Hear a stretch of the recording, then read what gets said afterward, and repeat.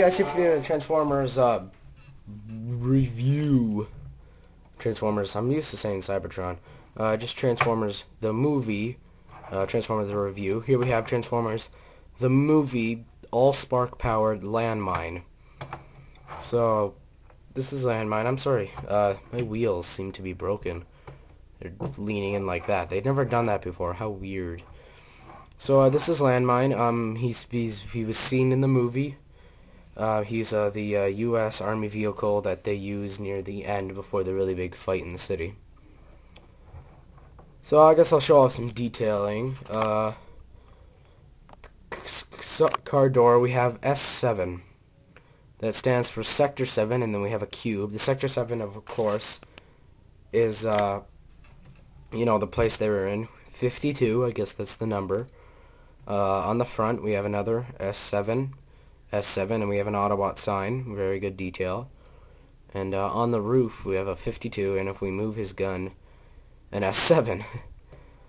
uh, other side, same thing, 52 S7.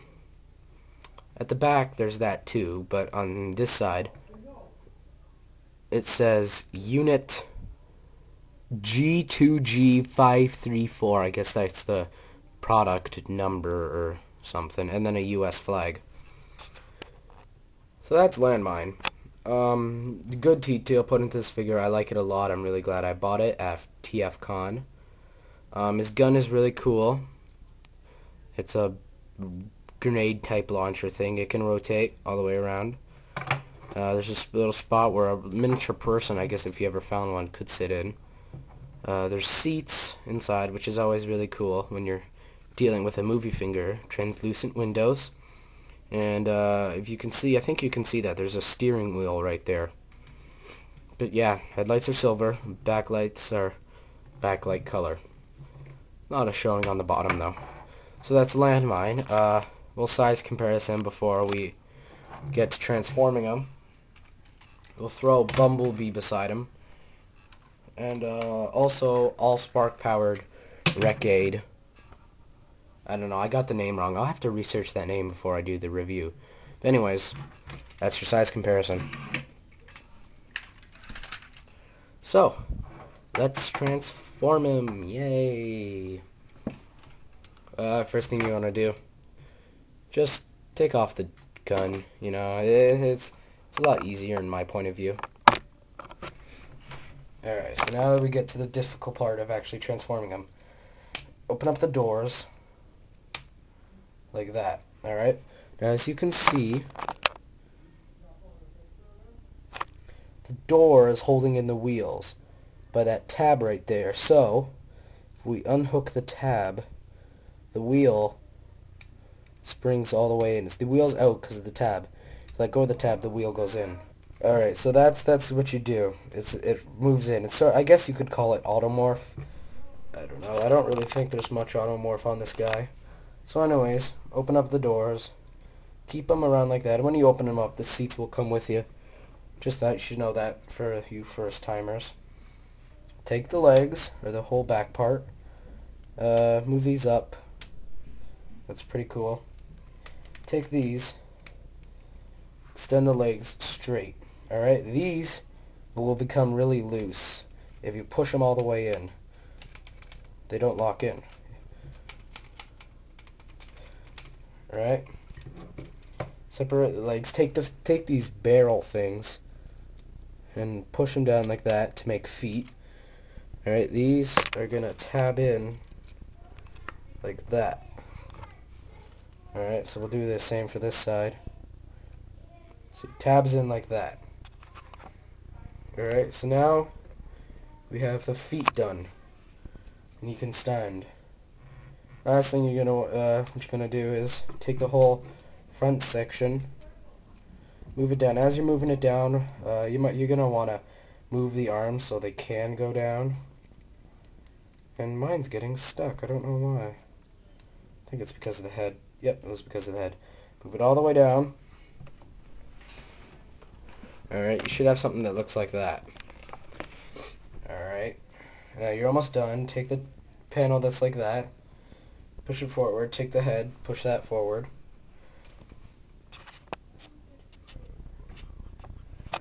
take his arms, rotate it, like that. Take the seat, uh, the seat, push in the finger, and extend the fingers. Like that. Alright, and then you can make a fist if you want. I make a fist with mine. Alright, so now we can see we have fully posable fingers on him. So, uh, sorry, messing around with my, uh, zoom in. So now we know he has fully posable fingers. Well, not fully, you know. Do the other side with the fingers. Alright. Fix him, make him into a fist. Alright. Stand him up. And yeah. So this is Landmine in his robot mode. It's a, it's a really good robot mode. I, I, I love it a lot.